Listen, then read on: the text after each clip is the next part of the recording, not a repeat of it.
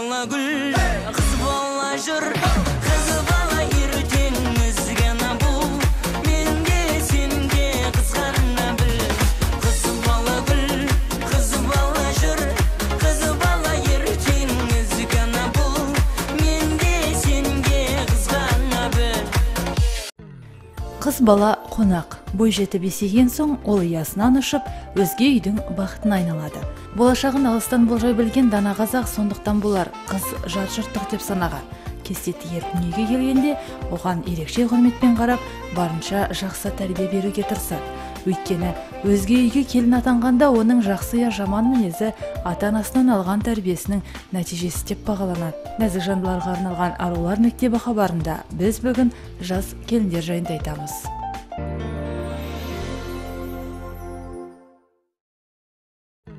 Айнагүлдің бұл шаңыраққа келін болып келгеніне 10 жыл. Ол кезде жиырмаға толмаған әлі оң солын тани қоймаған бойжеткен бүгінде мұғалім екі баланың анасы аяулы жар үлгілі келінге айналды. Сол бір алғашқы сәттерді бүгінде қуанышпен еске алады.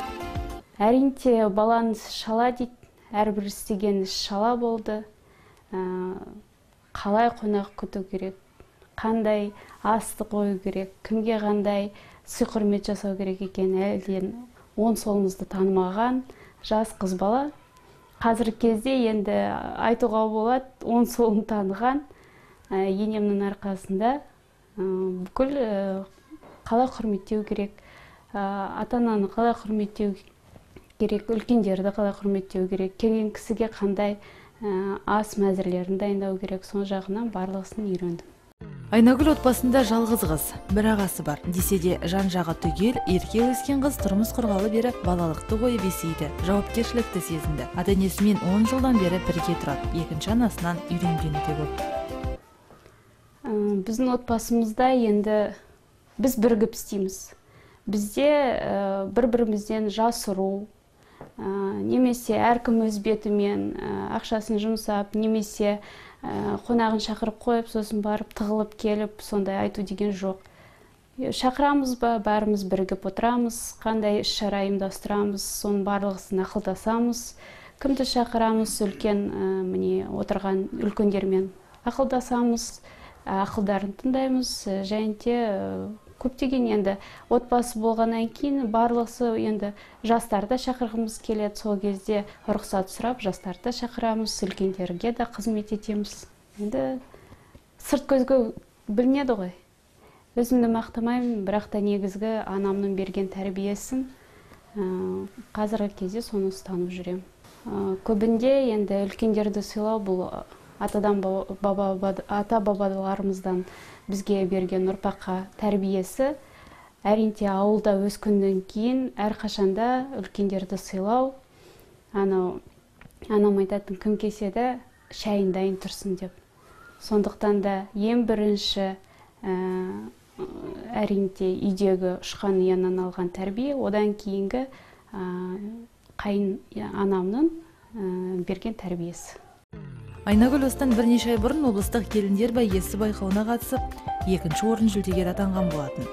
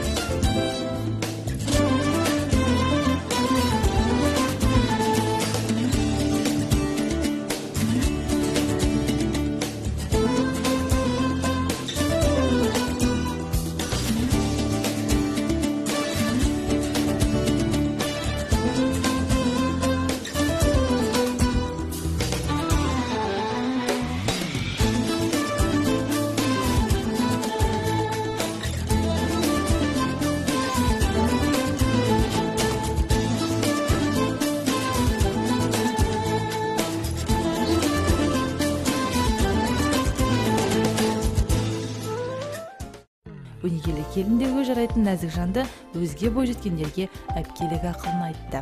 Ата енесінің разылығын алып бір шаңырақ астында бірге тату тәтті ғұмыр кешіп жатқан ол үлкенге деген құрметтің артықшылығы көп дейді. Қазір мен айтқым келеді ә, жас қыздарға қашпаңыздар деймін. Өйткені үлкен үйдің қазынасы бар дейді ә, үлкені бардың үйде. Ә, ата енеңмен бірге тұрғаннан баланы да қалдырып кетесің бағып қағып береді. Жұмысқа да алаңдамай барасың өйткені үйде білесің әжесі мен атасы қарайтынын. Ә, және де айтып жатыр ғой тамағымыз дайын. Жұмысқа барамыз. Еш алаңсыз ә, барамыз да келеміз. Үйде бізде тамағымыз да бәрі де дайын. Келіп үй шаруашылығымен айналыса бересің ешқандай. Ә, алаңдау жоқ. Мысалы үйдің құлпы деп те айтады үлкен кісілерді үйдегі отырған. Біз үйдің кілтін алмаймыз өйткені білеміз бізде әрқашанда үйдің есігі ашық екенін. Үйге кісі келе жатса да айтамыз бара беріңіздер үйде үлкендер бар деп. Сондықтан да қыз келіншектерге қашпаңыздар ол үйдің берекесі үлкендер біздің құтымыз берекеміз деп айтқым келеді. Расында солай қарты бар үй қазынаға толы жас келіннің ата енесі де оған дән риза. Қызындай көреді. Келін демей мен енді баламды қызым деймін. Өйткені екі қыз бердім тұрмысқа соның орнына екі келін келді. Екеуін де сол орнын басқан қыздарым деп қызым деп атаймын. Екеуін де айтуға тұрарлық балаларым. Екеуі де тәрбиелі оқыған жоғары білімді. Қазіргі заманның енді заманның өзгеруіне байланысты көбіне кейінгі біздің қазақ қыздары еуропаға бұрылып орыс халқының тәрбиесінде болғандай қазағымыздың салтын көбіне ұмытып барады. Бірақ менің келіндерім қыздарым өзі ә, ата анадан тәрбие көрген балалар. Анау шал ақын атамыздың сөзіне айта кетсем мысалы мәкке мекке менен мәдина жолының алыс сапар дейді ғой барған кісі. Ата менен енеңді құрметтесең мекке болып табылар үйдің іші деген бар екен. Сол сол айтқан сол кісінің айтқаны бізге келіп тұр. Балаларым тәрбиелі. Алдымыздан өтпейді.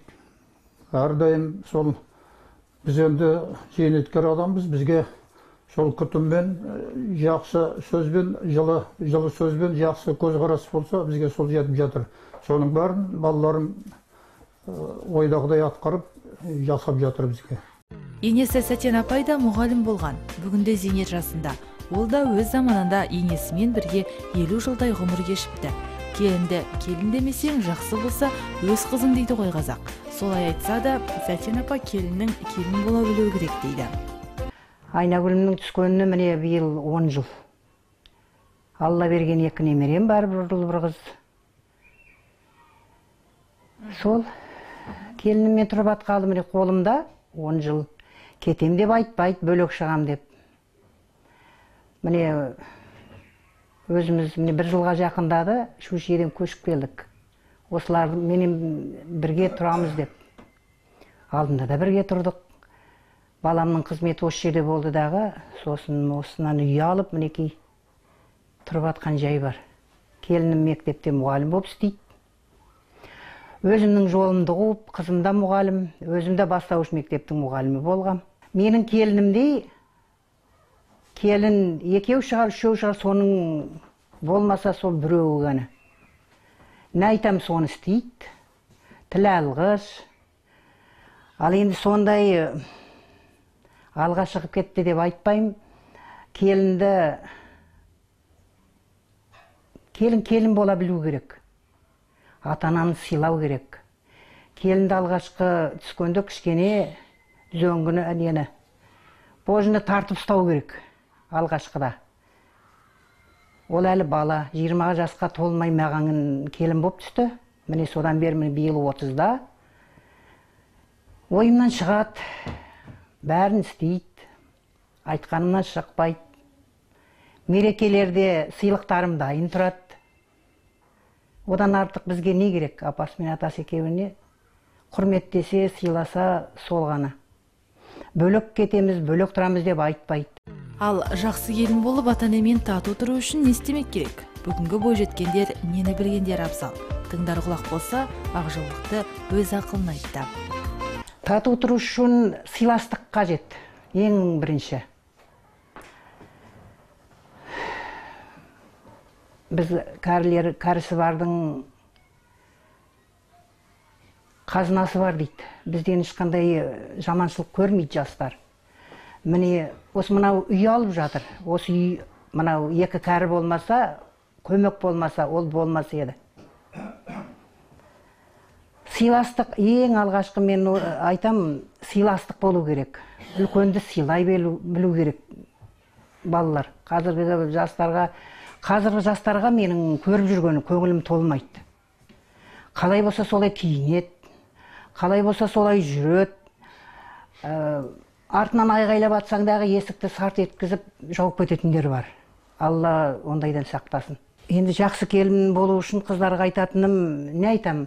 Үлкенді сыйла ашық шашық жүрме жаман су ішпе шылым шекпе.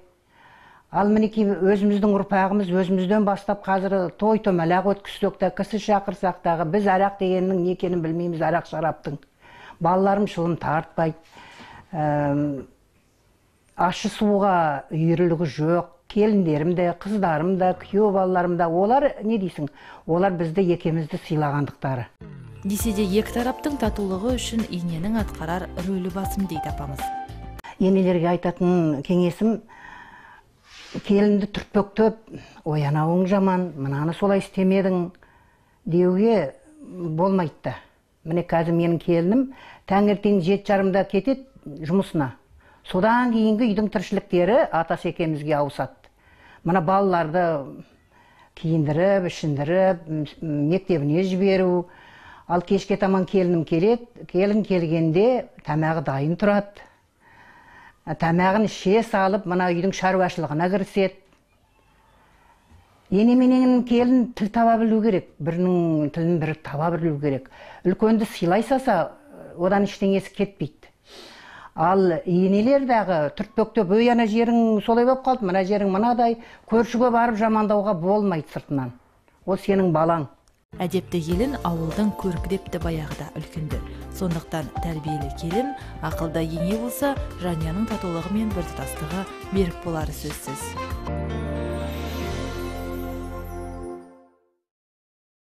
Бұл үйден қашанда шуақ төгіліп мереке сезіледі.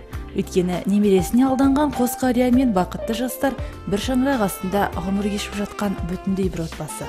Балалар әке шеше мен ата ананың тәрбиесін қатар алады. Расында қариясы бар үйдің берекесі кетпейді олар ақылы дариядай көңілі баладай жандар. Біз де мына үш бөлмелі жаңа үйлері қуаныш пен шаттықтан ажырамасын деген тілек білдірдік. Қазақ халқында келіндерге қатысты салт пен дәстүр жетерлік. Олай болса дәстүр дәптер айдарында ежелден келе жатқан ғұрыптарға тоқталамыз.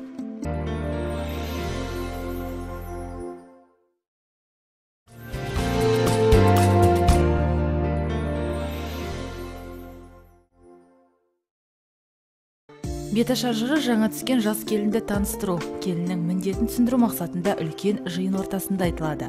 Беташар айтушы келіннің келген жеріндегі қайната қайненеден бастап туыстарының үлкен кішілерін жеке жеке таныстырып келінге олардың әрқайсысына иіліп сәлем еткізеді. Жаңа туыстары бұл сәлеміне көрімдігіне сый береді. Ертеректе сый ретінде түйеден бастап ешкі лаққа дейін төрт түлік мал аталған. Осылайша бүкіл ауыл аймақ ағайын туыс болып жас отауды ел қатарлы үй етуді көздеген.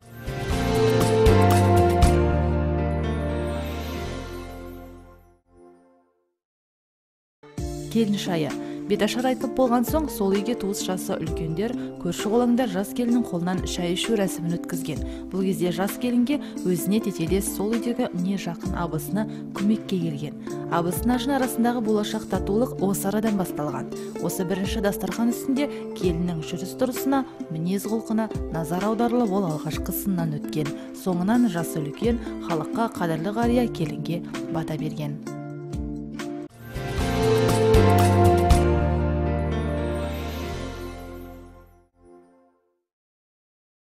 Есік ашар келін түсіру той аяқталған соң жас келінді туыстары үлкен үйдің есігін ашуға қонаққа шақырады. Отбасын көрсетеді бата береді. Оны қазақтар есік ашар деп атайды. Есік ашарға шақырылған келін құр қол бармайды. Өз тойына келген жасаудан көйлек көншек ала барады. Үлкендерге сый көрсетіп ибалық танытады. Үлкендерге сый көрсетеді.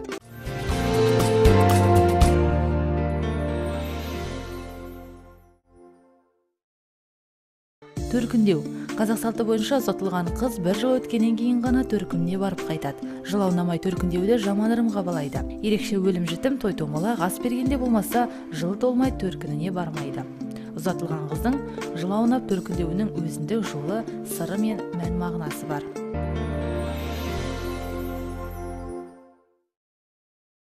Иә шындығында. Үлгілі келін бола білу әр бойжеткеннің қолынан келетінін ұмытпаңыз.